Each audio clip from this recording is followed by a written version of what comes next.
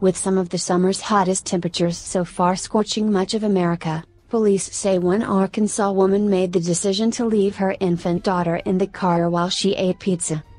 Police in Jonesboro in the northeast corner of the state cited Brittany Reeder, 25, with child endangerment on Wednesday after they say she left her four month old daughter in the car outside Larry's Pizza. According to KAIT, it was 96 degrees outside with a heat index of 108. Reeder herself reportedly called 911 herself after her aunt asked about the baby 10 to 15 minutes after they went into the restaurant.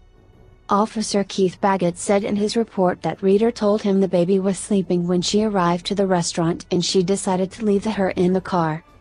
According to Baggett, Reeder could not give a logical reason why she would leave her child in the vehicle during these conditions and the ignition was off and the windows all rolled up.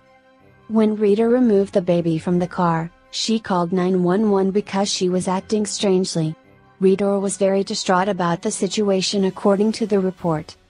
An ambulance transported the girl to a hospital, where her body temperature was reportedly 99.9 degrees around 45 minutes after she was taken from the car.